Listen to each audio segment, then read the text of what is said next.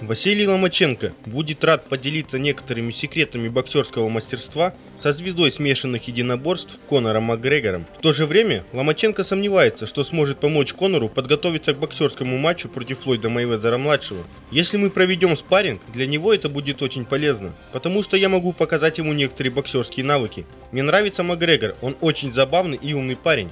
Но я не думаю, что смогу как-то помочь ему в плане подготовки к бою с Майвезером, потому что у нас с Флойдом разные стили. Украинец также ответил на вопрос, кто бы покинул ринг победителем, если бы в боксерском матче встретились он и Макгрегор? Конечно, я бы побил его. Никаких проблем, сказал Ломаченко. Боб Арум поделился мнением о поединке Головкин-Джейкобс. Это был хороший бой, в котором Джейкобс сделал больше, чем от него ждали, но все равно уступил. Я смотрел этот бой и отдал Головкину 7 раундов, сказал Арум. Келл Брук в сентябре прошлого года потерпел досрочное поражение от Геннадия Головкина. Однако ставит себе заслугу то, что он показал миру уязвимость Головкина.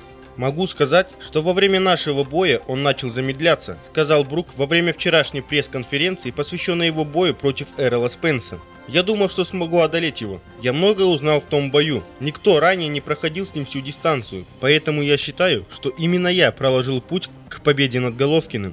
На мой взгляд, Джейкобс выходил на ринг уже зная, что он уязвим, и конечно же именно поэтому смог пройти все раунды, сказал Брук.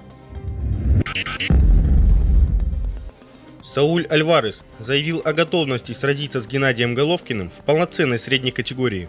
Наш поединок с Головкиным пройдет в среднем весе, и мы работаем над этим. Контракт у Головкина на столе. Все, что от него требуется, принять условия, тогда мы подеремся в 160 фунтах.